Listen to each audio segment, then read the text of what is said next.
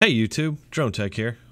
We're a few days out now from the amazing revolution that Jussie Smollett hoaxed and lied about a hate crime committed against him by Trump supporters.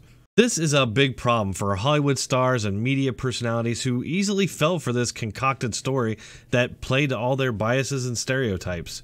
I keep seeing people in the media asking, you know, why would he do this? And it's the answer is pretty obvious. It's because people in the media are very biased and their biases uh, are easily exploited they've gotten to the point of a sort of religious dedication to their ideology and it's easy just to make up a story like this and know that they're going to fall for it every time. We've seen it happen again and again and again.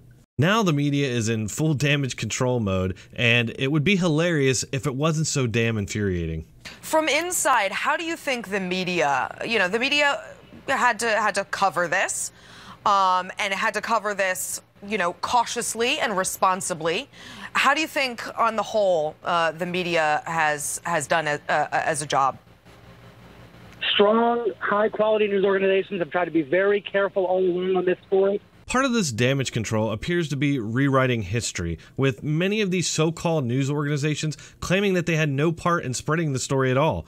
CNN's so called media expert Brian Stelter laughingly claimed that strong, high quality news, news organizations like CNN were careful with the story. Was Don Lemon being careful when he told Red Table Talk that it was because of Smollett's skin color and his sexual preference that people were going to be skeptical of the story?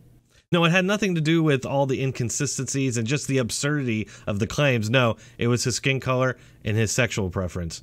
Was April Ryan being careful when she declared, quote, the attack on Smollett is a hate crime and should be treated as such? She's supposedly a journalist do journalists make such hardline declarations about things they don't have all the facts on? Or how about Brooke Baldwin, who arrogantly smeared the entire country saying, This is America in 2019? Of course, that's actually been scrubbed from the CNN transcripts. I went looking for it, and they have a partial quote, but they actually took out, This is America in 2019. Scrubbing transcripts is certainly the behavior of a high quality news organization. Speaking of S.E. Cupp, what happened to her? She used to be a fairly reasonable person. Now she's on Twitter telling Trump supporters how disgusted she is by them. Yeah, really. The giddiness among Trump supporters over the Smollett news is gross. This story is awful. He allegedly abused resources, exploited raw divisions in this country, and made it harder for every victim of a hate crime to report.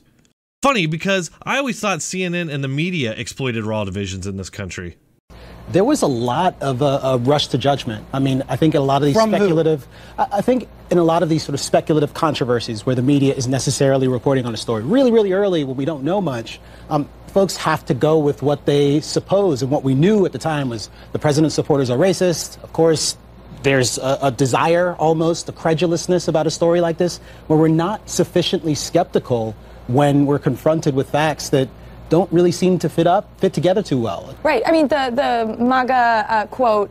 I remember reading about this story and looking yeah. for a real, uh, reputable media outlet reporting on that, and I could not find one. Right. Wrong. Right. Wrong. MSNBC was among the first news organizations to immediately report that the alleged attackers wore MAGA hats. They are looking for two suspects who were apparently wearing Make America Great Again hats. And you also had CNN contributor Keith Boykin tweeting out the MAGA country claims. Besides that, you had other outlets like Slate, Vanity Fair, and Vibe magazine all tweeting out the same fictional MAGA country claims. The last thing I want to show you is how Brian Stelter and this lying Vox propagandist work off each other to sort of wiggle out of responsibility for promoting this story.